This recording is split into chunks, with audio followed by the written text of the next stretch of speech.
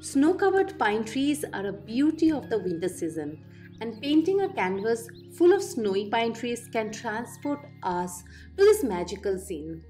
If you want to paint a winter landscape painting, learning to paint pine trees covered with snow is an essential.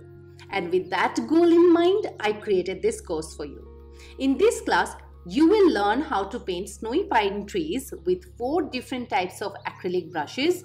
First, with a flat brush. Next, with a filbert brush.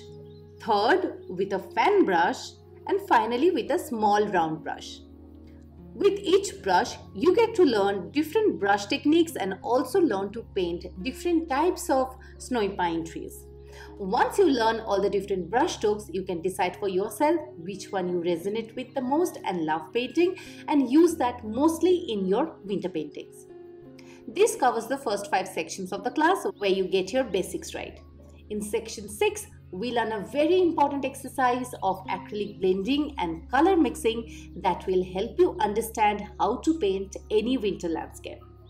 And finally, we finish off this class by creating some beautiful artworks. First, we learn to create two beautiful paintings. Then we learn to create four different coasters and seal them with resin so that you can use them as a home decor or for gifting this holiday season. And finally, we will create some handmade greetings cards with lots of snow and pine trees. So I hope you're excited by now to dive into this exciting class of learning to paint snow pine trees.